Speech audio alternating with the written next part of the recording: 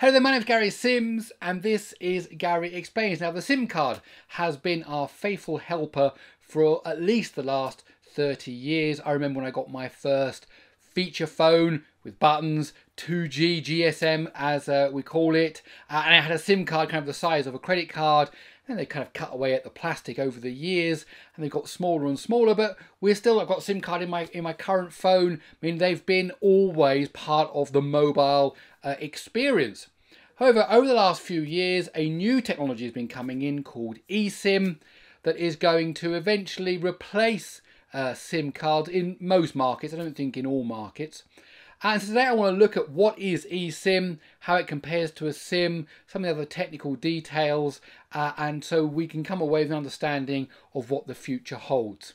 So if you want to find out more, please let me explain.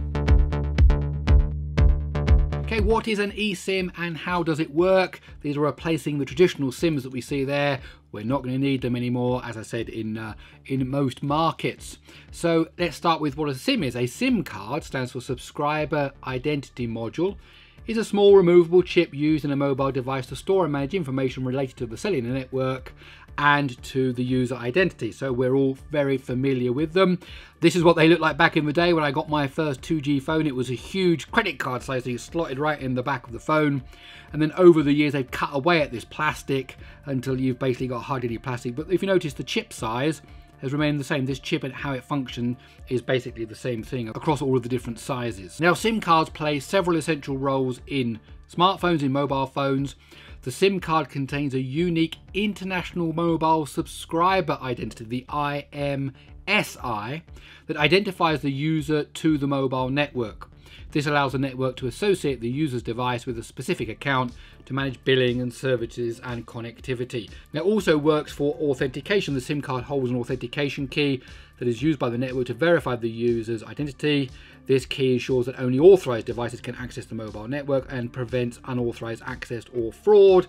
Uh, so obviously they try to make it hard for a phone that's not authorized to connect to the phone to the network, consume minutes, consume data, and the same way to prevent you know, uh, cloning and all this kind of stuff. Of course, there are problems to do with that. Now it also provides some storage. SIM cards can store data such as contact information, text messages, network settings that makes it easier to transfer user data when switching devices. Because we know that you get a new device and you take out the SIM card and you put it in. Now before the days of you know Google Photos and before Google Contacts or the equivalent on Android, you'd hope that all your contacts were on there and we'll talk more about that in a minute also has carrier information about the mobile operator. So the card comes from the network operator itself, whatever company you're using. Okay, it's for their network.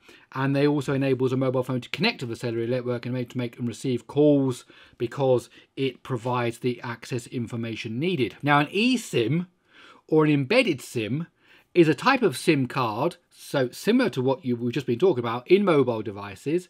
It's a small, but now it's a small integrated chip that's directly embedded, built into the device, rather than a removable card on a tray that you can pull in or out. But basically the functions it provides are exactly the same.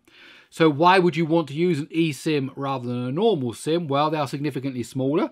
Okay, you don't need this space for the tray anymore. You don't need to have a little pin thing that you push the tray open with. It's convenience. They can be activated or deactivated uh, over the network. You can, uh, we'll talk more about this in a minute. It's You don't need to pull out a card, put in a different card. It can be done uh, remotely, so you don't need to have the physical card with you because the SIM profile can be updated uh, over the network, over Wi-Fi.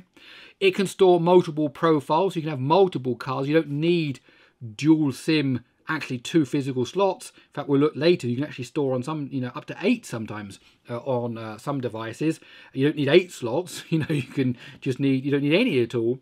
And of course, there is the improved uh, durability. I've had it myself. I've swapped out SIM cards and in the process, for whatever reason, I've damaged one. I've had to go and get a new SIM card and they've had to activate it. And it, I've lost service for a couple of days while I went in. Oh, it was quite a nightmare. So pulling cards in and out can also uh, cause damage. Now, the way it works is this carriers typically pre present eSIM profiles as a QR code that you scan and download. So, for example, on the S21, you go into settings, you tap connections, you go to SIM manager, and then here there's this add SIM. And if you click on that, the camera basically opens up and you've got a chance to scan in the QR code that you got from your carrier. The point is here is this makes it very easy. It's just you go in, scan a code, and you're activated.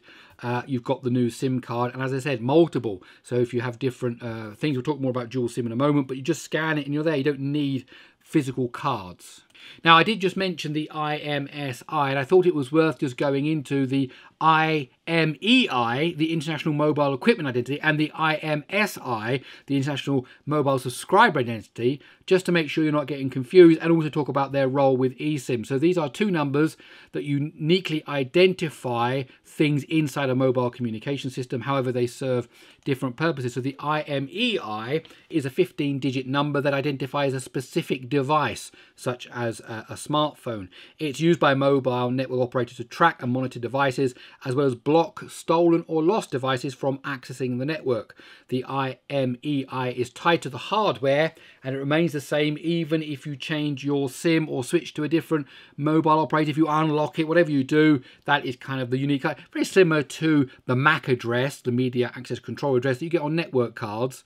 Uh, that make sure that is the uniquely identified. They're unique across the whole world. Every single network card uh, is unique. Every single Wi-Fi uh, chip is unique. And this is the same thing. Every mobile phone has this unique uh, number.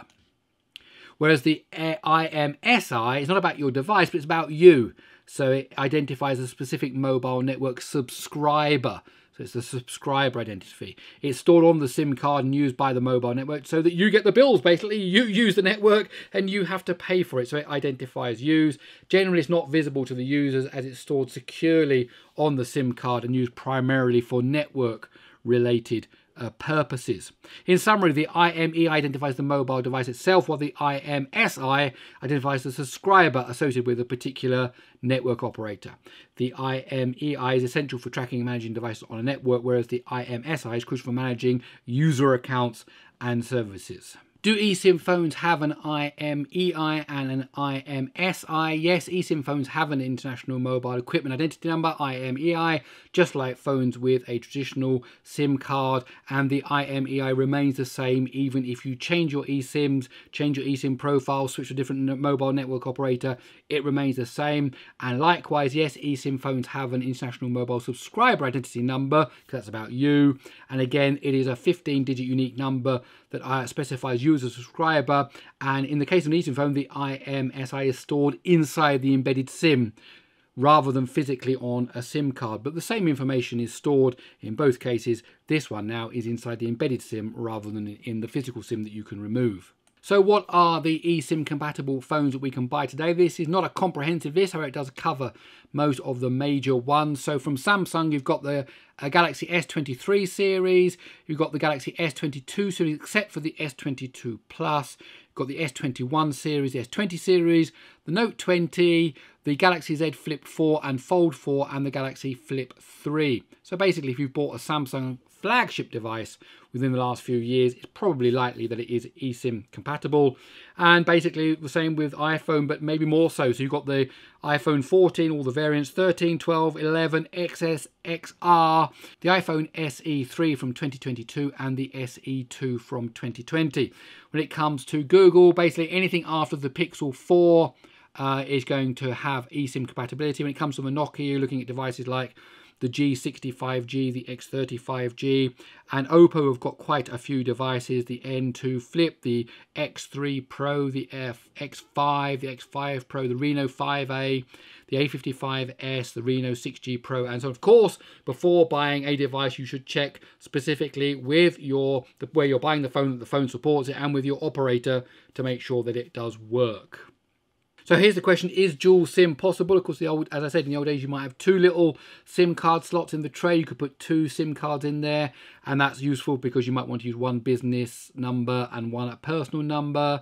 You might have a better uh, data plan, certainly locally, so separate voice and data plans. And that also applies when you go abroad. You might want to buy a quick pay-as-you-go SIM card, pop it in so that you can don't get charged for all the roaming and you can still use the local services. But then, of course, if you need to, you still get contacted on your other number. So we do that today. I do that personally uh, with my current phone. I've got two SIM cards in there.